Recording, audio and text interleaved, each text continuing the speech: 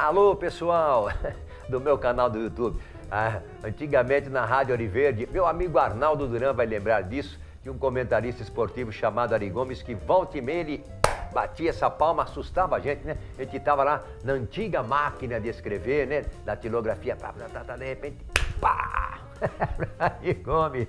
Mas estamos aqui, hein? Obrigado pela sua presença no meu canal e estou esperando, claro, a sua inscrição, estou esperando o seu like e avisando que já estão é, nas bancas da cidade, né? As nossas revistas com previsões para 2019. Agora, se você não encontrar aí na sua cidade, porque tem um monte de cidade que não tem mais banca, é só você comprar na nossa loja, né? Fabiano está colocando o endereço aí, você entra lá e compra as nossas revistas de previsões para 2019, perfeito? Se você quer receber pelo celular ou no computador, aí você compra a previsão anual digital, entrando no meu site joãobidu.com.br, clica na loja, custa apenas R$ 14,90, tá?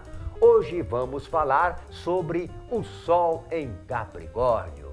Aí a ambição está no ar, hein? Não vai ter mais desculpa para você não correr atrás daquilo que você quer, porque o Sol está entrando em Capricórnio trazendo um astral de mais empenho, de mais perseverança e de mais determinação também.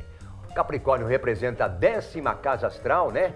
Que é o ponto mais alto do horóscopo. É, o ponto mais alto do horóscopo, onde a gente realiza as nossas maiores ambições, principalmente as ligadas é, aos trampos, né? Pois este signo, porque Capricórnio, vive perseguindo progresso na carreira. Capricórnio também quer ser feliz no amor, com as amizades, etc e tal, mas o foco dele é realmente a parte profissional.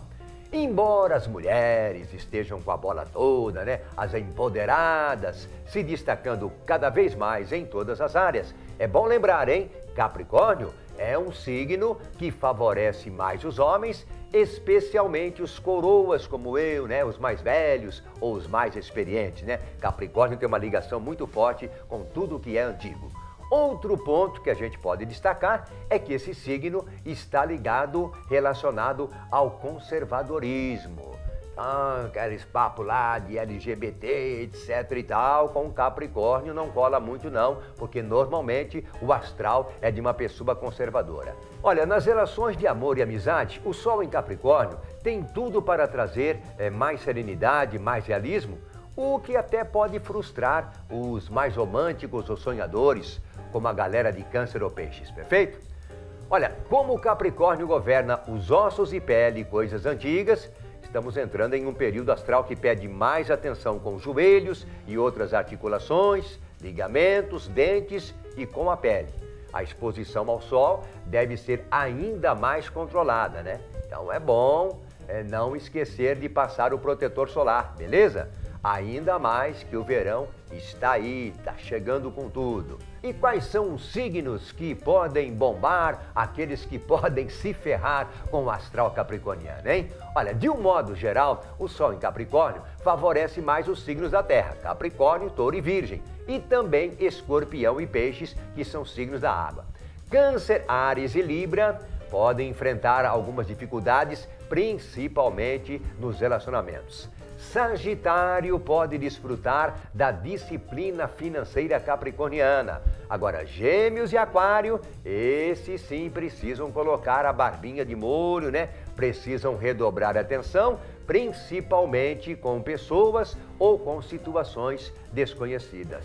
Valeu! Um beijo, um abraço forte, saúde e sorte e um bom astral capricorniano para você.